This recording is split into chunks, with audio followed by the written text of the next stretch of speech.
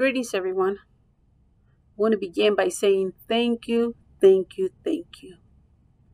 Thank you for all your prayers and the beautiful cards that you sent me. Many of you know that I contracted COVID 19 a few weeks ago, but I am well now.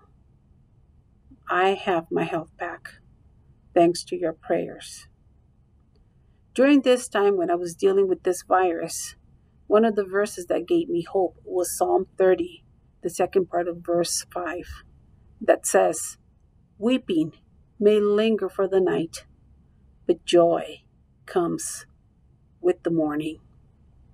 Psalm 30 is a song of thanksgiving and praise by one who has gone from security to near death and has been delivered by God. It is also a psalm by David for the dedication of the temple. If I may, I want to read this psalm and I have modified it the way it meant to me or the way I read it. Psalm 30 begins by saying, I will praise you, Lord.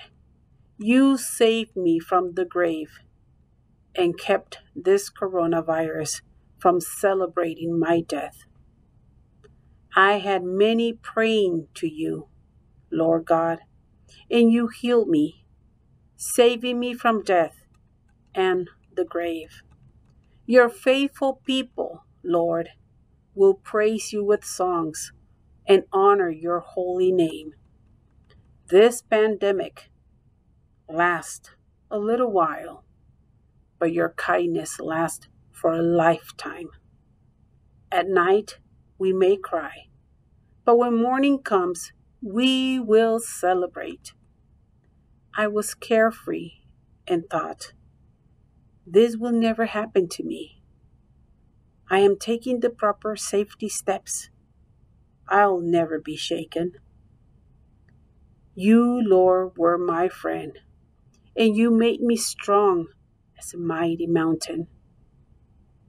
But when I contracted COVID 19, I was crushed.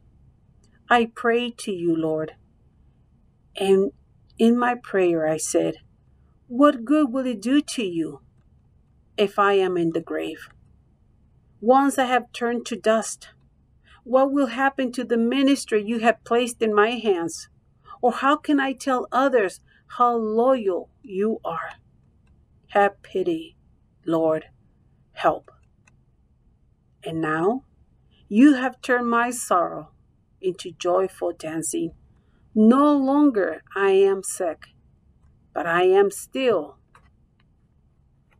wearing my mask and wearing sackcloth. I thank you from my heart, and I will never stop singing your praises, my Lord and my God. Amém.